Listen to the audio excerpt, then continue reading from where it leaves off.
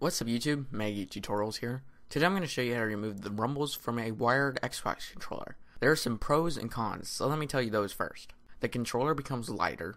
If you can't turn the vibration off in-game, it will be off forever. It saves battery if your controller is wireless. The cons.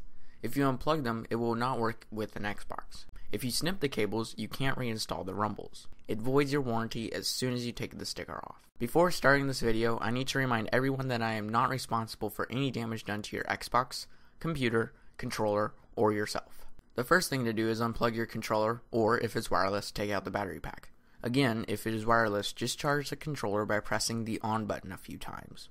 Flip the controller over and start unscrewing the screws in a star formation to keep the pressure off the logic board. There will be one last screw under the sticker here or under the battery pack that you'll need to get rid of. Before taking the lid off, make sure your hands are clean and your body is discharged. Touch a metal surface like your computer or desk. After taking the screws out, gently lift off the back. Make sure you don't lift up the middle bottom part or it will be annoying to put back together. Same goes for the bumpers. The rumbles are super obvious, so if you miss them, I blame you. Now if you're going to plug this into your Xbox, you will have to cut the wires to trick the Xbox into thinking they are still plugged in. If you have a PC, you can do the same thing or unplug them if you ever want to plug them back in. It should unplug just like a computer fan, but it could take a bit more tugging. If your controller is wired, you will have to jimmy the wired part back into place to sit in between the shell and the logic board.